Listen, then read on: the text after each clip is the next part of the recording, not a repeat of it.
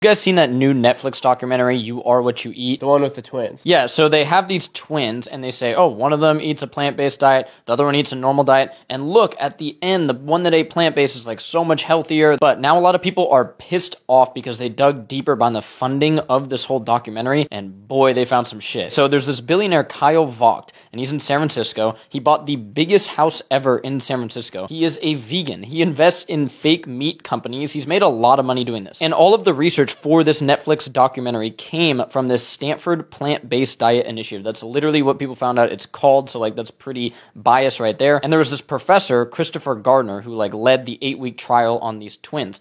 Now, first of all, this dude is a vegan, so that's a huge issue. And then people found out the Stanford Plant Based Diet Initiative was started from a grant from Beyond Meat. We literally have a situation where these companies making a processed food, which is fake meat, are funding research in groups called the Stanford Plant Based Diet Initiative. What research do you think they're going to do, or what conclusions do you think they're going to come to? And then Kyle Vogt is the one who puts the money towards these documentaries at Netflix. And there's been a few of them. Game Changers, he was behind the Game Changers documentary. And what they're doing, in my opinion, this is just my thought, they are basically wanting to sell people processed food.